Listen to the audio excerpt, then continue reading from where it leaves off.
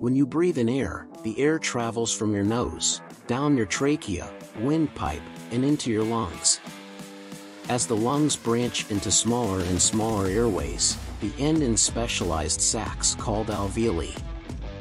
Here, oxygen passes through the lung membranes into the bloodstream, and waste products like carbon dioxide flow out of the blood and into the air, and are subsequently expelled when you breathe out.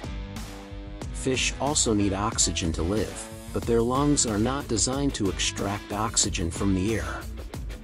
Instead, by passing the water through their specialized organs, called gills, they can remove the oxygen and eliminate waste gases. Since humans do not have gills, we cannot extract oxygen from water. Some marine mammals, like whales and dolphins, do live in water, but they don't breathe it. They have developed a mechanism to hold their breath for long periods of time underwater. Eventually, however, they have to come to the surface to exhale and then take a new breath.